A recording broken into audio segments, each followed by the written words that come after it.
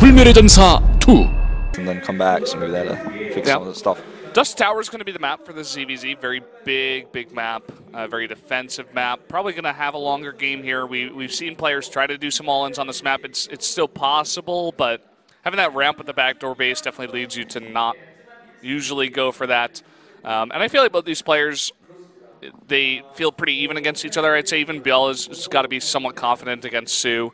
Yeah. Um, you know, from an objective perspective for us, I'd say like I voted for soO. I think he's he's going to get this one in this matchup. But Yeah. anything could happen in the ZVZ. Any, anything sure. could always happen in a ZVZ because just builder losses happen. Um, there's a lot of like volatility with Mutalisk versus Mutalisk. Uh, even if you control perfectly, sometimes you misjudge Mm. Counts or like that you get caught by like that one burrowed infestor. Like this matchup has like just always been so volatile, and that's why I said like if they bring it to the fourth game, maybe ByuL can take it, force the ace match. They got ahead with two wins I didn't expect early on, so like now ByuL's not forcing the ace match. He could actually just close it out. Worst case scenario, they go to the ace match. So this is a really comfortable position for CJ here, and uh, they were like so close to even closing it out with Bunny's build, which I loved. Like you see a build like that too, I feel like you're looking at the series thinking like they were thinking they were going to be in this position where it's like we just cheese them and we get out, we like take the three out, yeah, and move on. I mean, you just got to prepare for dark regardless. You know. yeah, Um, that could have been the game that like keeps them in it and gives ByuL a chance too. If we're looking at the flip side, Like, Sure. if, if both Dream and Innovation take their wins, so interesting build doesn't work out. And uh, what do you? I guess as we got some time here, interesting. They're not both the players still not in the lobby. Um, uh, what do you What do you think about that last one, Lerilak Crest? Like, do you think Hero should come out on that one, or do you think they'll try ByuL Oh, there? I, I think there's no other choice for CJ. And then like, what about SKT? Well, I think probably we're going to see Hero. Um, now, what would be a really cool move from SKT, I think, would be to send Classic. He showed an awesome PvP yesterday versus S and won the matchup. And he isn't being fielded today uh, in the regular lineup. So, you know, he's kind of hidden. Maybe no one's really thinking about him. I would love to see Classic come out on Lerilak. But that's thinking about the matchup alone and who they might send. Hero is, to me, like a very likely candidate for CJ just because he's been doing the best, even though he hasn't been doing as well as he did last year. Yeah. Um, it's not necessarily the best candidate for the map, so I mean that's basically summing up what I think as Yeah. we actually finally have this info coming Could, up here. could be dark too. I mean, eh, you're always pretty happy to send out dark, right? yeah, Macy Innovation. We'll see if we even get there. We do have the ZVZ first. soO is really on a roll here uh, in Pro League, seven and one. You know, we talk about these guys like Maru, like Zest, like even Innovation, but soO is up there at seven and one. Like I didn't even realize how high up he is on that winners ranking. yeah. He hasn't played as much as some of the other SKT players. He also, um, oh wow, GTR. Bill. But soO also has not been doing well in individual leagues because he dropped out of both very early. So we haven't seen as much soO this year as we did last year Yeah. and the year before. For sure. Guys, we're going to jump into game number four on Dusk Towers for the ZVZ.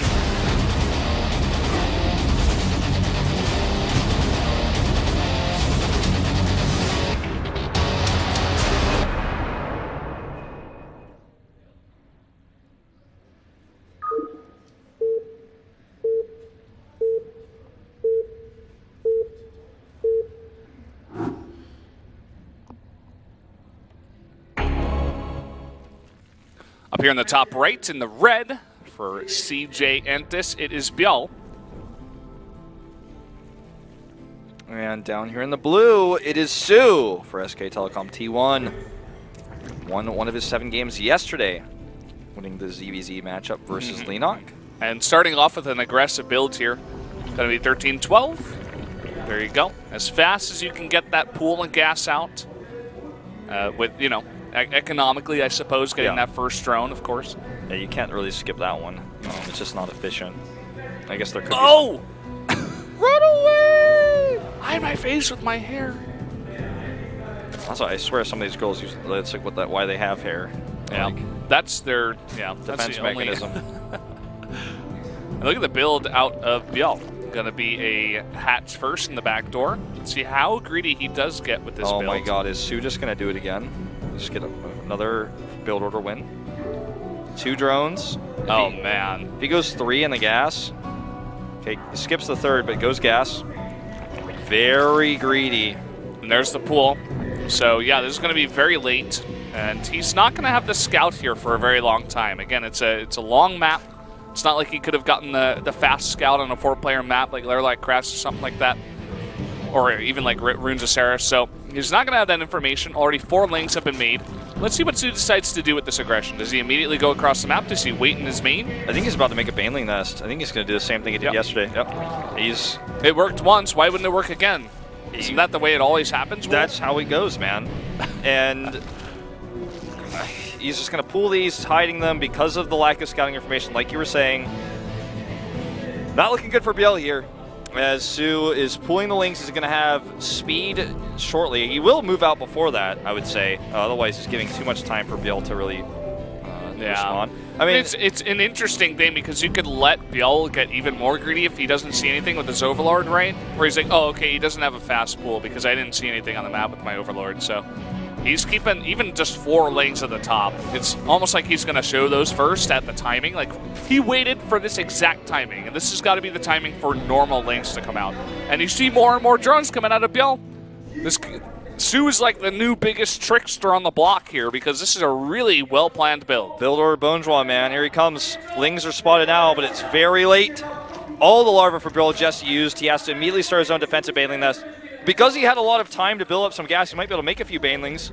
He's getting a Spine Crawler as well, because he needs all the defense he can get.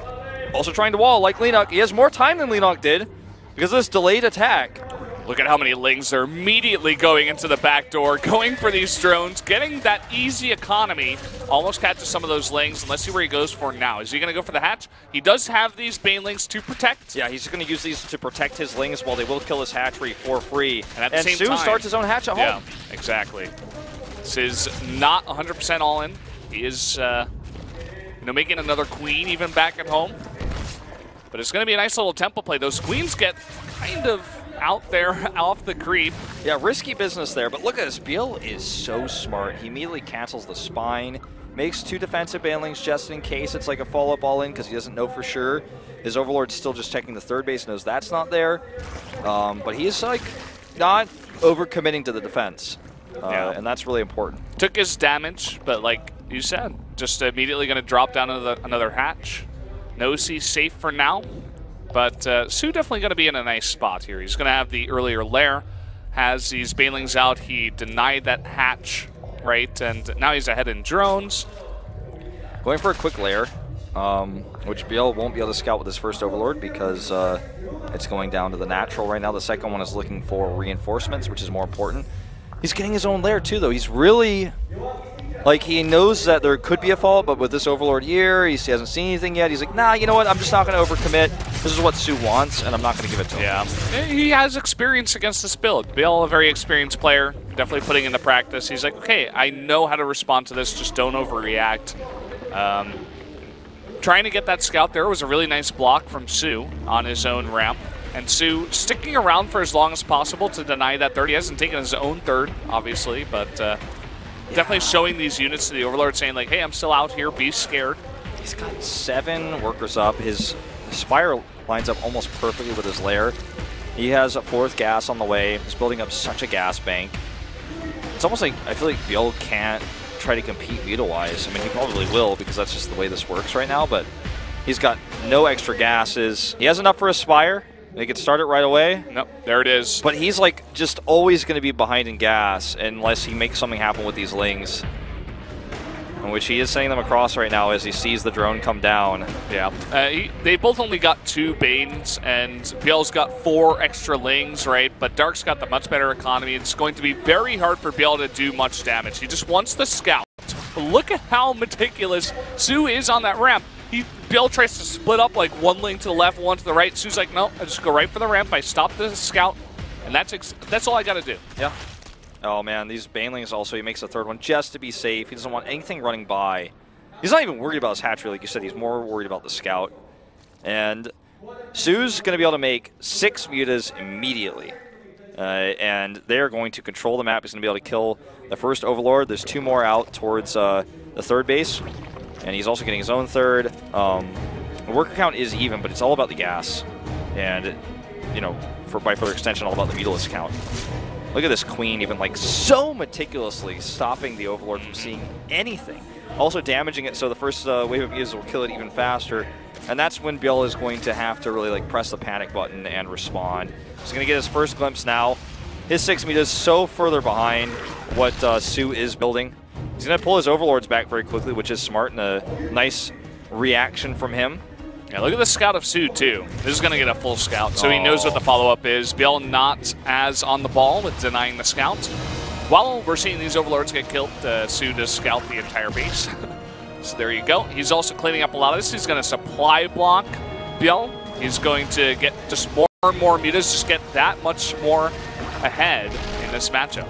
He's so far ahead that he could almost even fight mutas versus mutas. Like they're at six and six on the map. Like soO had six uh, with that uh, force, and he was like about running the six of bills. And he was like almost ahead enough to fight that. But he's like, no, just gonna keep killing all your overlords. I know I have more gas than you. Like that's just a fact. He's also way ahead in the armor upgrade, which means that the mutalisks are gonna be able to fight even better. And I, yeah, this I mean, is going to be like a tough game for Bielta. I'm not going to sugarcoat this for you guys. It's going to be a hard one. He can Yeah. win it. It's possible. It's doable. But he's going to be playing from behind. That he is. I mean, he's behind, I think, about six, five or six mutas right now. And just even like the earlier hatch, like everything is going soO's way. Uh, he hasn't really tried to commit yet. He's uh, very, very safe about this, you know, not overdoing it. Denies the scout again, which is very nice. But uh, you see back at home for he's already transitioning into infestors. He's like, I can't, I can't win this Muta War. I see how many he has with all my lings.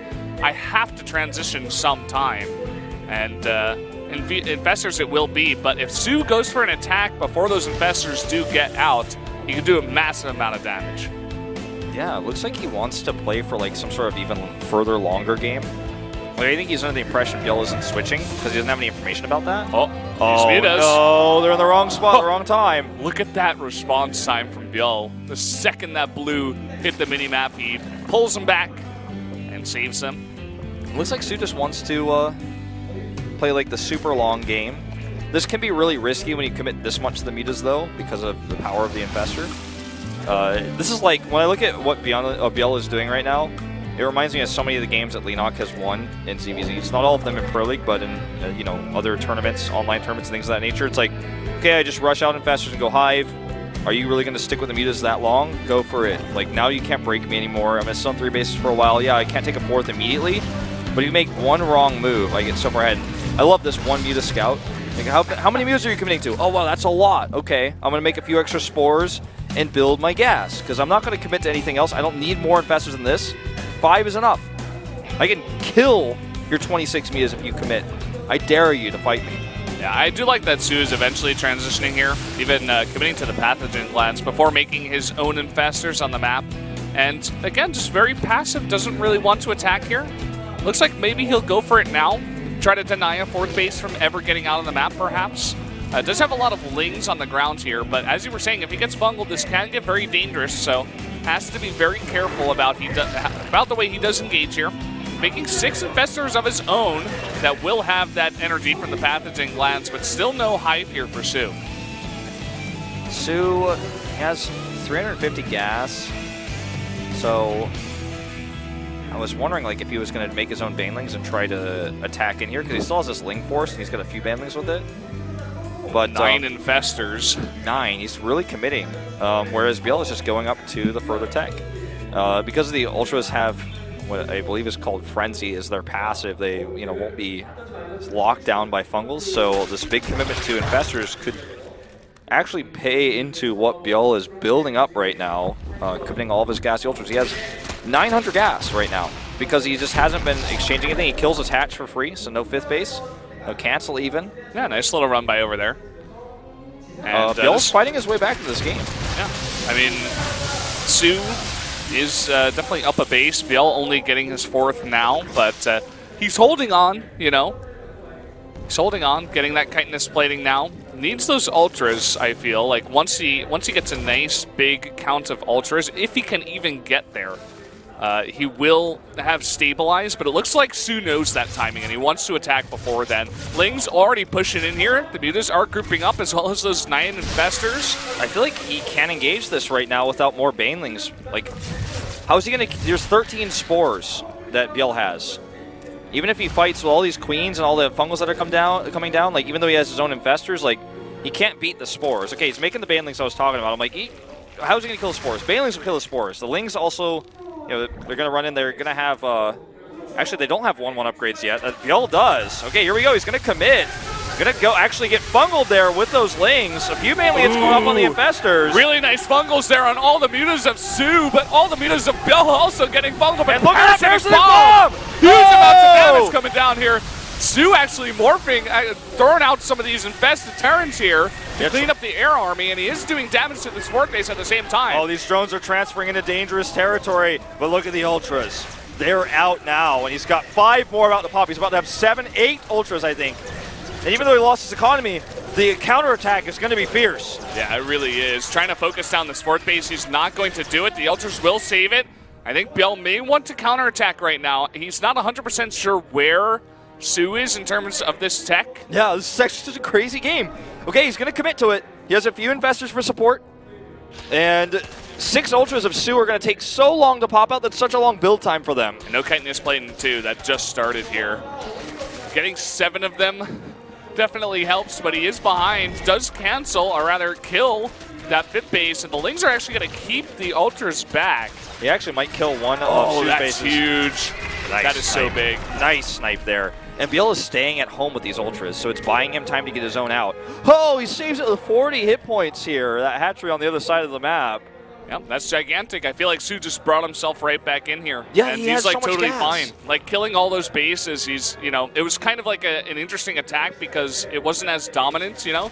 This Oh. will go down, Yeah. but uh, that is okay.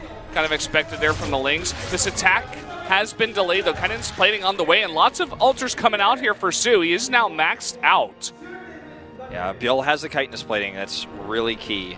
Um, all right. Does finish soO's up 2-2. soO's about to have his own. Yeah, 2-2 is finished. Plus 3 started immediately.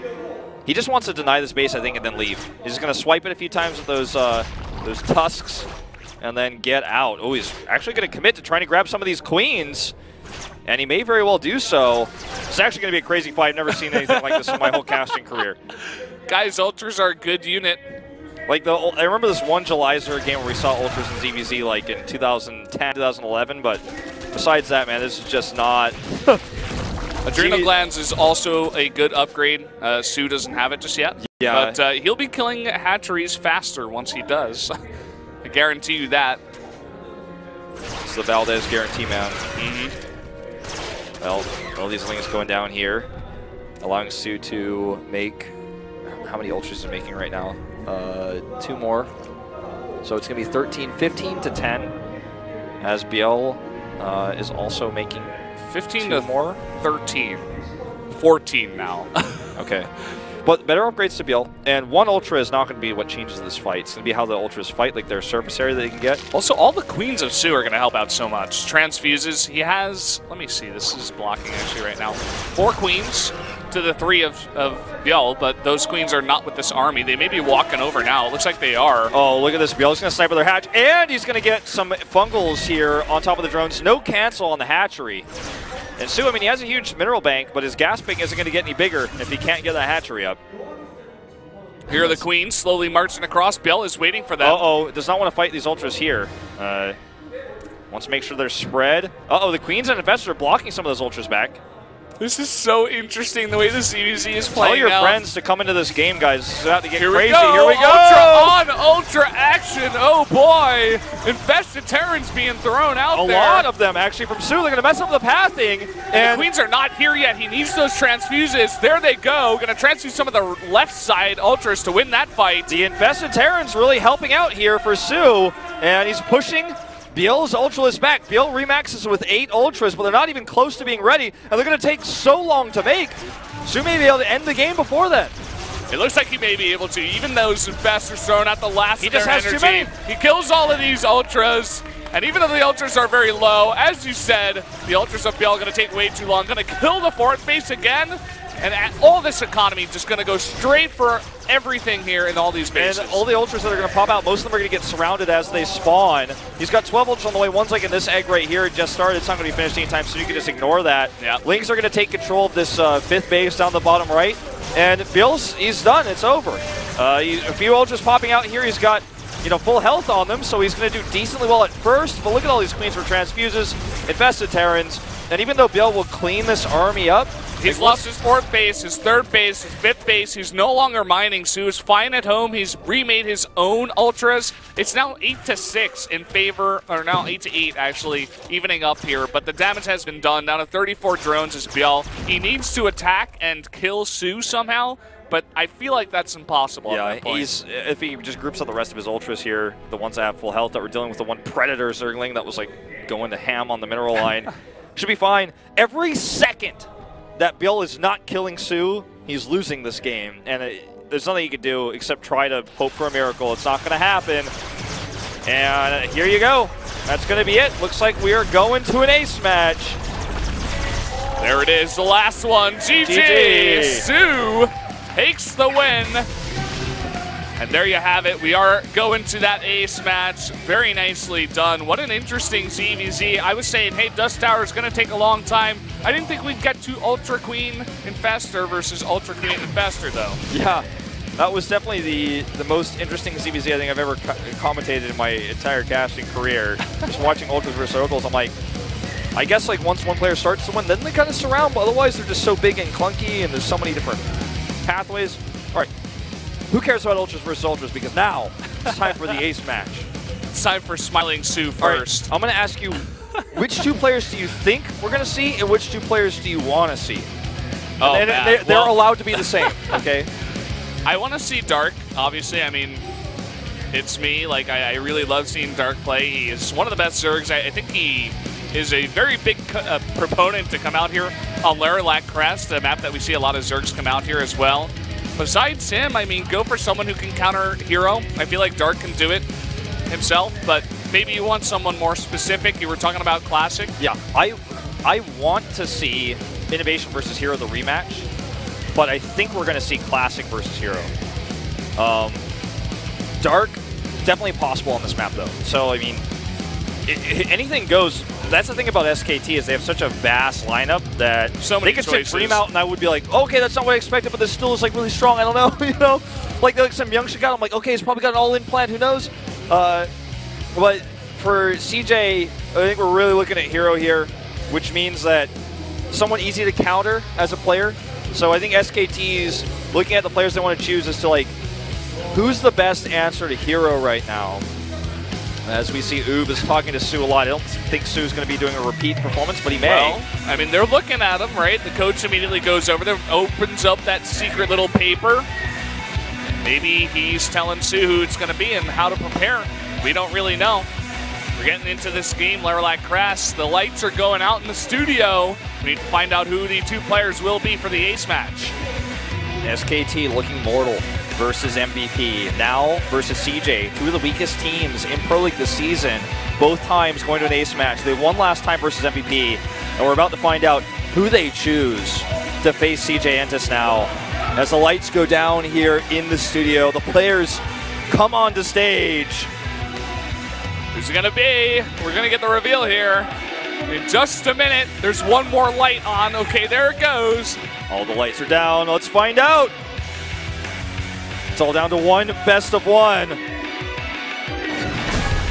Here's the reveal. Give us the lights. The two players that will be playing in our ace match are Hero Oh, versus Hero Dark. versus Dark. There Dark it is. coming out. You you wanted to see him. You get your wish. I get to see Hero at least.